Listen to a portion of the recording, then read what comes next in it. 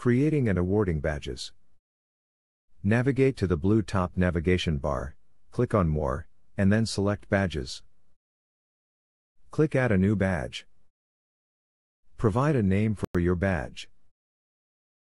Add a description for your badge. Upload an image for your badge with the listed accepted file types. If the badge has an expiry date, set it if you want it to be valid after a certain date. Leave it as never if you want the badge always to be displayed. Then, click Create Badge. Click the drop down options in the Add Badge criteria and then select Manual by Role. Select the role for which you want to award the badge, for example, choose Teacher, and then click Save. After setting the criteria, you will be returned to the Manage Badges screen, where you need to enable access for the badge to become available.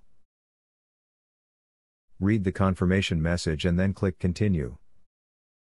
After all the criteria are set, site users can begin earning it.